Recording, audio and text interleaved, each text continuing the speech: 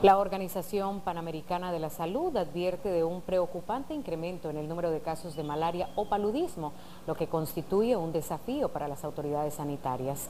Expertos en medicina preventiva exhortan a acudir a puestos médicos ante fiebres y escalofríos persistentes. Según la Organización Mundial de la Salud, el número estimado de casos de malaria en Nicaragua fue de 4.600 en 2015, frente a 1.400 casos cinco años atrás, en el año 2010. La malaria es una enfermedad transmitida por el mosquito llamado anófeles. Ese por lo general tiene como manifestaciones clínicas lo que es la fiebre alta y se caracteriza la fiebre por tres fases. Se considera de que está la primera fase, es la fase de eh, escalofríos, posteriormente la fase de escalofrío viene la fase de caliente que nosotros llamamos y también la fase de sudoración. Eso por lo general el paciente empieza a presentar fiebres altas mayores de 38.5 grados.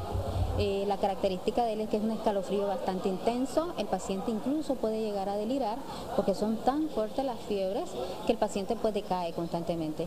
Eso por lo general, eh, parte de la fiebre tiene dolores osteomusculares, que son dolores en todo el cuerpo, dolores de cabeza intensos y se manifiesta siempre en pacientes pues que son picado por el mosquito.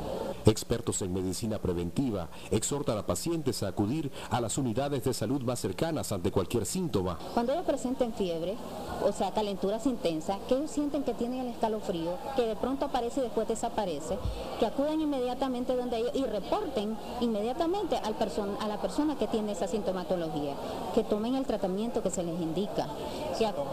claro que sí. El tratamiento es, por lo general, es la, la, la la quinina, según el tipo de, malaria que él tenga.